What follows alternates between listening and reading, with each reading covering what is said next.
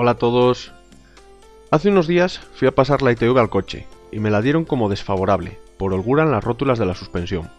Al tratarse de una falta grave me dieron 30 días de plazo para solucionarlo, con lo cual empecé a pedir precios y presupuestos, y como de costumbre, el precio más bajo era el de pedir las piezas y hacer yo mismo el cambio. Como no parecía complicado, me decidí a hacerlo yo mismo, y decidí cambiar los trapecios completos y las violetas de la barra estabilizadora. Yo lo he hecho en mi Fiat estilo, pero el proceso es prácticamente igual para la mayoría de marcas y modelos del mercado. Podéis encontrar este y otros bricos para tu Fiat estilo en la página de estilerosclub.es. Vamos a ver cómo se hace. Al trapecio también se le llama brazo oscilante de la suspensión, y a la violeta se le puede llamar tirante o travesaño de la barra estabilizadora. Lo primero que hay que hacer es averiguar el número de pieza exacto para poder pedirlo. En cualquier taller o tienda de autorrecambios deberían de poder daros esa información, y digo deberían porque yo pregunté en un taller oficial de la red Fiat y se negaron a darme esta información. Buscando por internet no es complicado encontrar aplicaciones online que nos dan toda esta información de forma gratuita. Como este no es el tema del vídeo, aquí os dejo otro vídeo de cómo podéis hacer las búsquedas de las piezas de los coches italianos, ya sean Fiat, Alfa, Lancia o Abarth. Y dejo enlaces a aplicaciones web para encontrar referencias para muchísimas marcas. Una vez que tenemos las referencias, hay que comprar las piezas. Podéis hacerlo a través de cualquier web de piezas, por eBay, pasándote por una tienda local de autorrecambios o por un desguace. Yo he elegido las piezas de la marca Febi Bilstein, pero más o menos todas las marcas rondan más o menos los mismos precios. Unos 90 euros el trapecio y unos 10 euros la violeta. Una vez que tenemos las piezas, hay que hacer el cambio. Es algo complicado calcular el tiempo que lleva, ya que la práctica, la herramienta, el sitio elegido son elementos que pueden hacer variar el tiempo. Como media, os diré que cada trapecio os puede llevar entre una y dos horas, aunque el tiempo del segundo, al tener la práctica, se puede reducir a la mitad. En la descripción os dejo el PDF con el procedimiento oficial de Fiat, aunque tengo que deciros que yo no lo he seguido ya que prácticamente no explica nada. Bueno, al lío. Antes de levantar el coche, aflojamos los tornillos de la rueda. Levantamos el coche, cada uno como pueda, en mi casa lo hacemos así, y terminamos de quitar la rueda. El siguiente paso es quitar el paso de rueda para tener acceso a los tornillos del trapecio. Para ello tendremos que quitar los tornillos de estrella situados en estas posiciones. Una vez sueltos, sacamos el plástico. Resulta que para quitar el tornillo delantero del trapecio tendremos que quitar otro plástico, y para quitar este hay que quitar el cubrecárter. Con paciencia y una llave de 10 milímetros empezamos a quitar los tornillos que tenemos más a mano.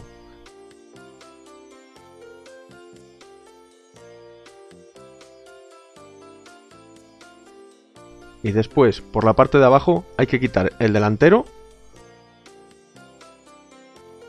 los dos tornillos del cubrecárter del lado a cambiar,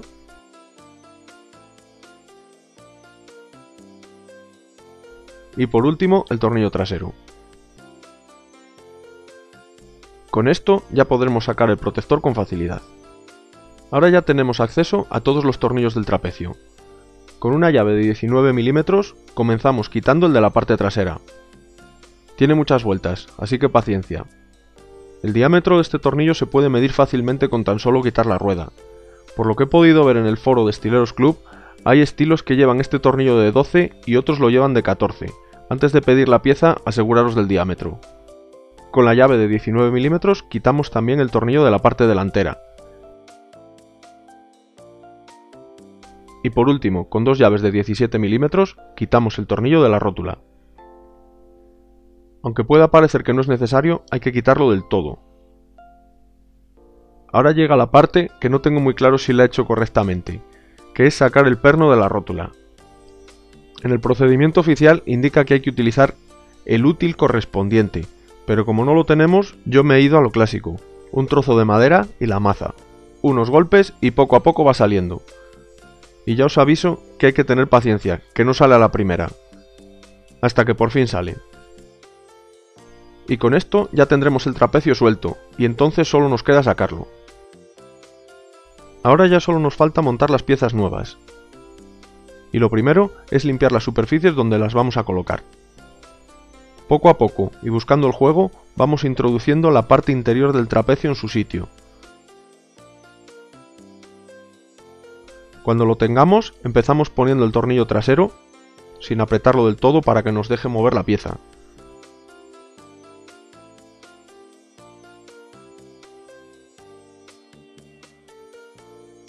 Luego, de la misma forma, ponemos el delantero. Y por último, encajamos el perno de la rótula, primero con unos golpes, y luego la opción más sencilla es poner un madero debajo de la rótula y bajar un poco el coche. El mismo peso del coche hará que el perno entre hasta el fondo. Entonces apretamos el tornillo, como siempre sin pasarse, y como estaba duro al salir, creo que llevaba fijador, así que le podemos echar un poco de pinta uñas de la parienta que hace la misma función. Y apretamos completamente el resto de los tornillos. En el PDF tenéis los pares de apriete correctos. Y ya solo nos queda cambiar la violeta o tirante. Para ello usaremos una llave fija de 16 mm y una Allen de 5 mm. Para poder aflojar la tuerca tendremos que bloquear el perno con la llave Allen.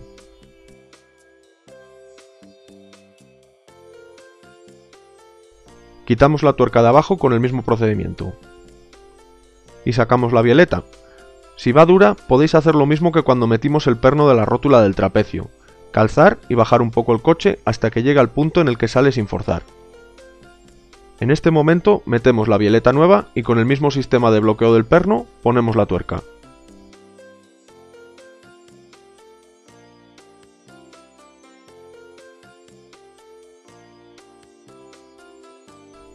Después ponemos la tuerca de arriba y podemos decir que ya tenemos todo montado. Por seguridad en este momento yo hice un reapriete de todos los tornillos, por si se nos hubiese olvidado alguno. Colocamos el plástico protector y ponemos todos los tornillos.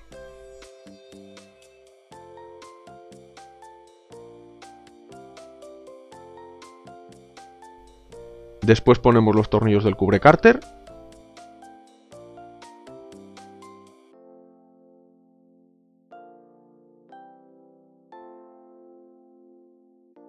y ponemos todos los tornillos del paso de rueda.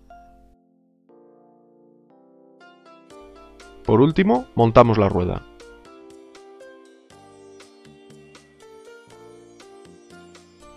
Y listo, nuestra parte ya está acabada.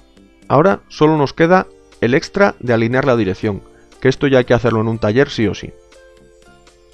Deciros que con el cambio se han acabado los ruidos al pasar los badenes o al girar, el típico clon clon que antes hacía, y noto el coche más asentado en curvas, y sobre todo en rotondas rápidas. Como habéis visto, no es un proceso complicado, simplemente lleva tiempo, pero que bien merece la pena por el dinero que nos ahorramos. Y si no me creéis, pedid presupuesto en un taller. Y esto ha sido todo.